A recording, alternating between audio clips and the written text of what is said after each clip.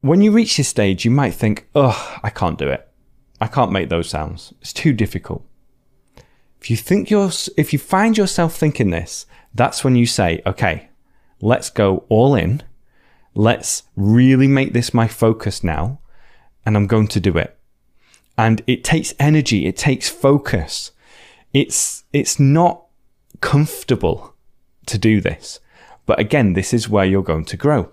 So then you can learn how to make those different sounds, practice them, record your own voice, and then repeat it um, once you can master it. And then after a while, this, this will just become normal. It will become automatic to you when you say these different sounds. So you can think about that with um, all areas of English pronunciation. You can practice it with all the sounds of English. Um, another example might be connected speech as well, or